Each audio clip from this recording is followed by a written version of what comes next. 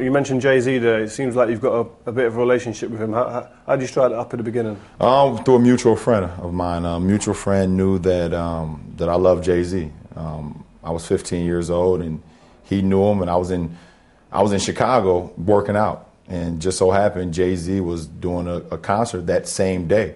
You know, it's funny how things work out, I mm. guess. you know, and you know, we was walking through downtown Chicago and um, we show up at the Four Seasons Hotel. I have no idea what we're doing here. You know, I'm just walking, and we go up to a big, a big suite, a huge suite, and um, you know, it has a downstairs and an upstairs. You know, and out of out of nowhere, you hear "Yo, what up?"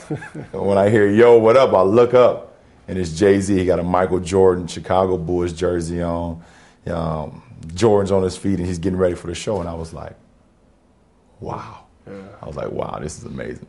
So what is it like for him then to do a song with reference to yourself? Uh, it's, it's Obviously humbling. about there was a, a player that made some comments yeah. before a game and then, and then Jay-Z came out yeah, back and he put him boy. in his place, I guess. He put him back in his place. so what's it like to get you a man like that? Um, it's great. I look at Jay as a big brother to me. And, um, you know, to have a big brother, I mean, we all know if you have a big brother, stick up for you. Mm. Just like the movie, Sheehan was like our, our yeah, hey, listen, something going on, let me know. And I've, you know, Jay is a big brother of mine, and for him to do that, I think it is humbling to know that you have um, people that's great in other professions hmm. um, look up to you also. Mm. You're watching magazine number five with RioFerdinand.com.